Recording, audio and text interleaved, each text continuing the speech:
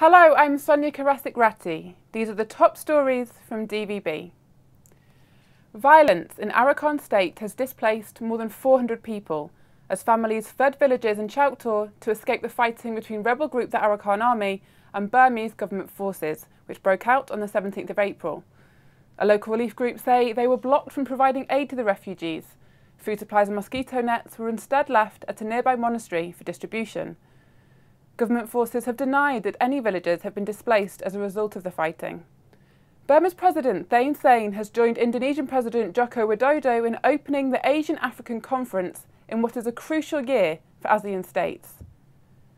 This year's Asian African Conference comes as ASEAN states prepare to integrate into a single economic community. The planned elimination of non tariff barriers to trade is set to give a big boost to businesses, particularly in the bloc's major economies, such as Thailand, Singapore, and Indonesia. But for the bloc's smaller players, such as Burma, there are real concerns over the growing regional wealth gap.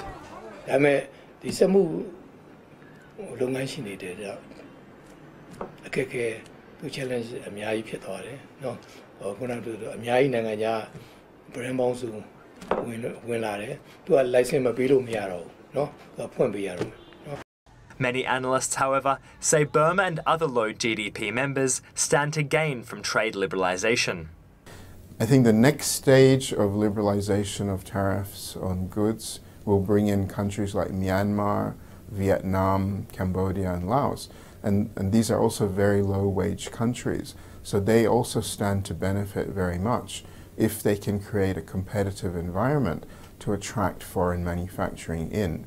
Talks in Indonesia will extend for two days, in which leaders are expected to emphasise cooperation in counter-terrorism, education and women's empowerment, as well as economic unity. This year, Burma again ranks alongside the world's worst for press censorship.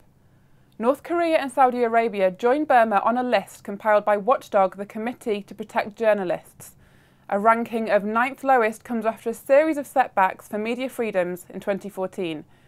Freelancer Par Gyi was killed in military custody after covering fighting between government forces and rebel group, and journalists from Unity Journal and Baimon Nay paper were imprisoned last year.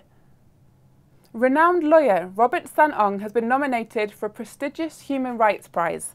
He's up for this year's Martin Ennals Award, selected by a jury of major human rights organisations including Human Rights Watch and Amnesty International. Robert San Aung has provided counsel in some of the most high-profile cases in Burma in recent years, representing child soldiers, protesters from Letpadaung copper mine and student activists. Activists from Saudi Arabia and Guinea are also up for the award, which will be presented later this year in Geneva. You can find more on all of today's stories at dvb.no. Bye for now.